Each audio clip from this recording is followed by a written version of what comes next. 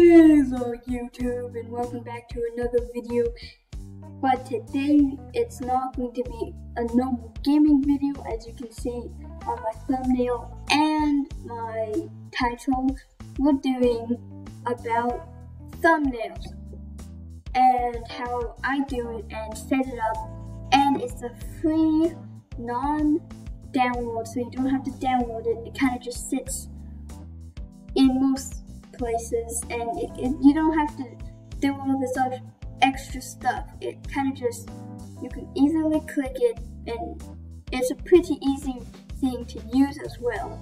So yeah, but before we go into the video, I want to also say thank you for 20 subscribers. I mean, we just did a video about that, so I, if you watch to the end, I'll show you that, and also that thanks a lot. It, I can make, it tells me that I can make some more videos and better ones and keep growing this channel until we are a lot bigger and even do even better videos.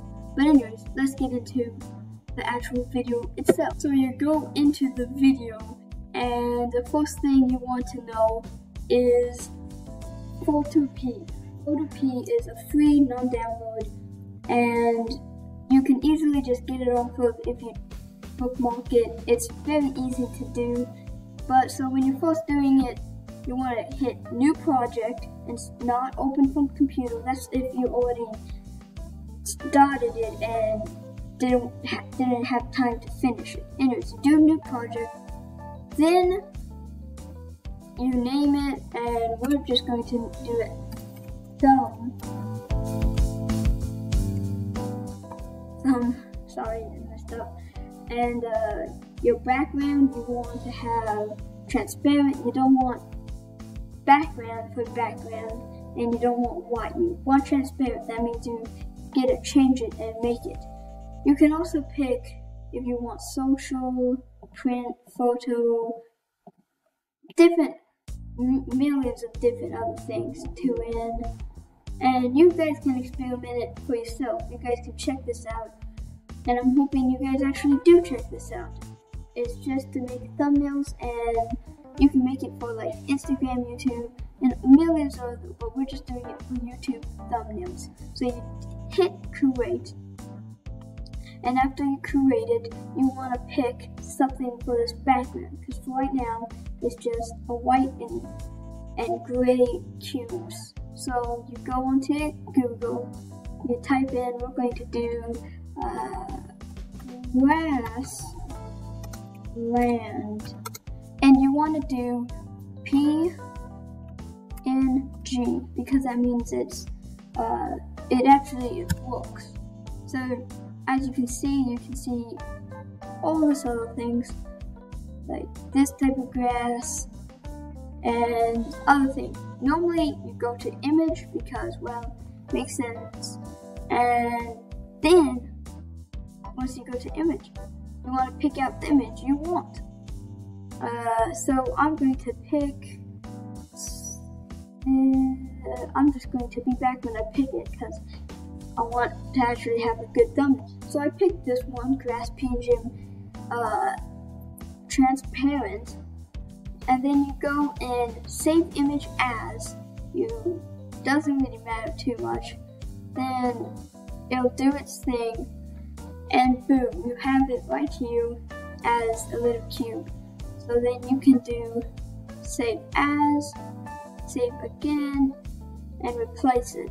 Then you minimize it, because, yeah, and then you go back to Photopedia, then you go to Files, and, and Open in Place. Now, I'm not going to do it because it's kind of, I mean, you kind of have to scroll down and everything, but we're going to do it for right now. So you look for what you want, then you can just place it and boom. Then you can cancel that out and look. You now have your grassland. Now normally you can pick how big you want it. You can actually get a photo that was bigger than this, but looks a little better. But anyways, so now that you have this, then you can pick another photo, which I'll pick Um, so I have already did this, so a little cow, but I want to show you this is not a non-transparent thing. Oh yeah, and another thing is if you hold shift and this, you can make it bigger but at the same height. Because if I undo shift, now look at it. It's a little wonky. I can move it like this and all that. But anyways, if I hold shift and do it, it stays the same perfectly. So that's also another thing. Anyways, uh, so this is a non-transparent. The background kind of does not fit with it. I'll do a actual transparent. This right here, the mobile, which I used for my background, is transparent. As you can see, if I put it here, it takes whatever the shape. If it's right here, I can put it right here. It can be white as a background.